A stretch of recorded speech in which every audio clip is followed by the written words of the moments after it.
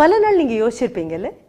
எத்தனை தான் வேலை பண்ணாலும் எத்தனை தான் உதவி பண்ணாலும் பார்த்து பார்த்து பண்ணாலும் ஒருத்தர் சொல்லாமையே உதவி பண்ணிட்டு இருந்தா கூட இது நாள் வரைக்கும் யாரும் நம்மளை போதுமான அளவு பாராட்டினதே இல்லை அப்படின்னு. அது என்ன போதுமான அளவு பாராட்டுறது? நம்ம மனது திருப்தி அடைகிற அளவுக்கு பாராட்டுறது. பாராட்டுங்கிறது வெறும் வார்த்தைகளால் இல்லை. வீடெல்லாம் சுத்தமாக தொடச்சி பளிச்சுன்னு கண்ணாடி மாதிரி வச்சுருக்கீங்கன்னு வைங்களேன். காலையில் போட்டது போட்டபடி போயிட்டு திரும்பி வரும்போது பார்த்த அடுத்த நிமிஷம் யாராவது ஒருத்தர் அட வீடு ரொம்ப அழகா இருக்கு அப்படின்னு சொன்னா அன்னைக்கு இல்லை ஒரு வாரத்திற்கு இந்த உற்சாகமே நம்மளை ஓட்டிகிட்டே இருக்கும். ஏதாவது ஒரு சின்ன மாற்றம் பண்ணியிருப்பீங்க அதை யாராவது பாராட்டினா உற்சாகம் ரொம்ப தலைக்கு மேலே போயிடும் சில நாளைக்கு ஒரே ஒரு புதிய முயற்சியாக ஒரு சமையல் பண்ணி பார்க்கலாமே அப்படின்னு தோணும். மறக்காம வீட்டில் உள்ள எல்லாரும் அடடே இது ரொம்ப நல்லா இருக்கே இனி மறக்காம பண்ணுங்க அபாரம் அப்படின்னு சொன்னாங்கன்னா அந்த சக்தியை வச்சுட்டு ஒரு வாரம் ஓட்டிடுவோம். ஆனா யாரும் அப்படி ஒன்றும் பார்த்து பார்த்து பாராட்டுற மாதிரி தெரியல.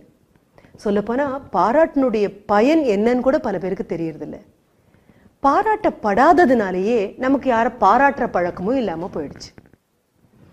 ரொம்ப வருத்தப்பட்ட என்னோட ஒரு சக ஊழியர் ஒருத்தரும் சொன்னாங்க நானும் எத்தனை பண்றேன் மேடம் வீட்டில் வேலை பண்ணாமல் இருக்கிறதே கிடையாது.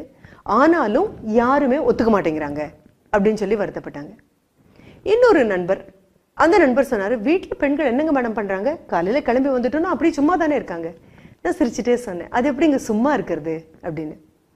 அவருடைய மனைவியை சந்திச்ச போது நான் சொன்னேன் ஒரே ஒரு நாளைக்கு சும்மா இருங்க. அப்போ புரியும் உங்க கணவருக்கு நீங்க என்னெல்லாம் பண்றீங்கன்னு. முயற்சி பண்றேன் மேடம்ட்டு போனாங்க.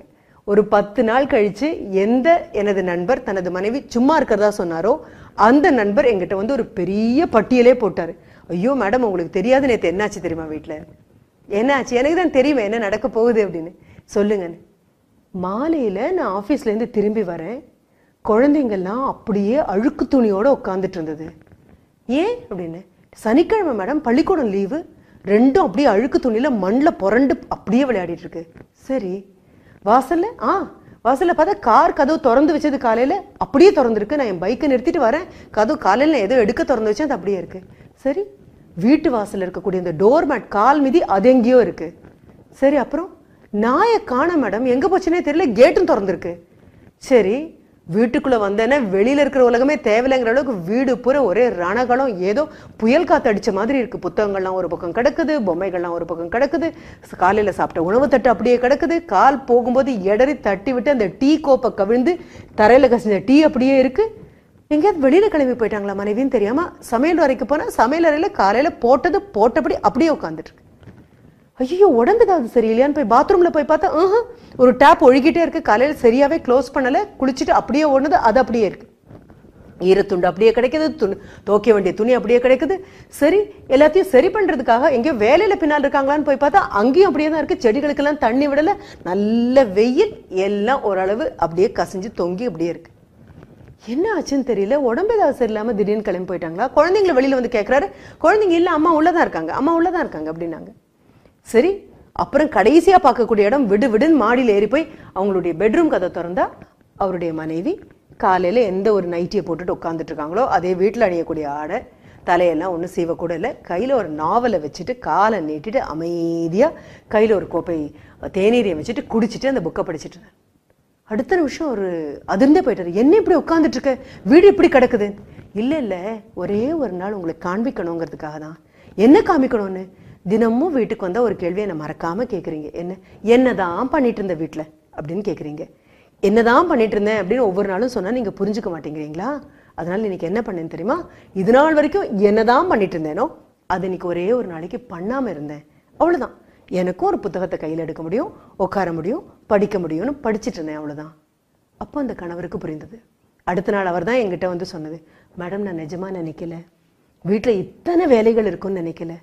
இத்தனை ஒரு வேலை செஞ்சு முடியறதுக்குள்ளே அடுத்த வேலை அடுத்த வேலை செஞ்சு முடியறதுக்குள்ளே அடுத்த வேலை. துணியெல்லாம் அடுக்கி வச்சு திரும்புறதுக்குள்ளே கை குழந்தை ஓடி வந்து அம்மா காலை பிடிச்சிக்கிட்டு எடுத்துக்கோ என்ன இடுப்புலன்னு சொல்லி அம்மா எடுத்து எடுப்பில் வச்சு திரும்புறதுக்குள்ளே அடுக்கி வச்ச துணி அத்தனையும் குழந்தைக்கு இழுத்து போட்டுரும். என்ன பண்ண முடியும்? அடிக்க முடியுமா? சிரிச்சுக்கிட்டே குழந்தைய அதனுடைய வாக்கரில் உட்கார வச்சு மறுபடியும் மடுத்து எடுத்து வைக்கணும். காலையில் போட்டது போட்டபடி இருக்கும். தட்டுக்கள் எல்லாம் கண்டபடி தூக்கி வீசப்பட்டிருக்கும். துணியெல்லாம் அலங்கோலமாக இருக்கும். இத்தனையும் இதே காட்சியை மனதில் ஒரு சின்ன ஃபோட்டோ எடுத்துக்கோங்க. நீங்கள் அலுவலகத்துக்கு ஓடுறதுக்கு முன்னால். திரும்பி வரும்போது வீடு எப்படி இருக்குன்னு பாருங்க. உங்களை வாங்க வாங்கன்னு சொல்கிற மாதிரி ரெண்டு கையையும் நீட்டிட்டு வீடு நிற்குது குழந்தைங்க திரும்பி வரும்பொழுது வீட்டுக்குள்ளே வரும்போதே அம்மா ஒரு நாலு மணி அஞ்சு மணிக்கு பசிச்சு வர குழந்தைங்களுக்காக வச்சுருக்கக்கூடிய பாலோ இல்லாத ஏதாவது ஒரு பானமோ அது தயாராக இருக்குது சாப்பிட்றதுக்காக சூடாக ஏதோ பண்ணியிருக்காங்க அதனுடைய வாசனை வாசலுக்கு வந்து வா வா அப்படின்னு கையை நீட்டி கூட்டிகிட்டு போகுது. எத்தனை குழந்தைங்க வீட்டுக்குள்ளே வந்து உட்காந்து அம்மா நீ மத்தியானம் சாப்பிட்டியாம்மா? அப்படின்னு கேட்க போகிறோம் ஆஹா எனக்கு பிடிக்கும்னு அம்மா இது பண்ணியிருக்கீங்களாம்மா அப்படின்னு எத்தனை குழந்தை கேட்க போவோம் பானிபூரி ரொம்ப பிடிக்கும். அப்படின்னு வெளியில் போய் நம்ம சாப்பிட்றோம். ஆனால் வீட்டில் அம்மா நமக்கு பிடிக்குமே அப்படின்னு சொல்லிட்டு அதையே ரொம்ப ஆசையாக பண்ணி வச்சுருக்காங்க. கடையில் வாங்கும்போது உணவு மட்டும்தான் கிடைக்கும்.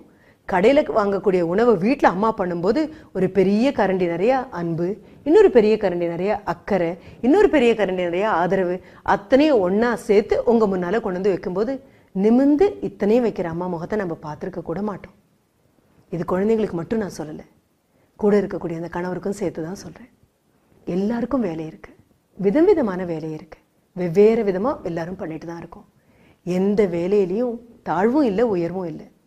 பெரும்பாலும் வீட்டில் இருக்கக்கூடிய பெண்மணிகள் செய்யக்கூடிய வேலைக்கு எத்தனை கோடி கொட்டி கொடுத்தாலும் பத்தாது. அன்பு அப்படிங்கிற ரீசார்ஜை விட அழகான உற்சாகம் கொடுக்கக்கூடிய பேட்டரியை ரீசார்ஜ் பண்ணுற வேற விதமே கிடையாது.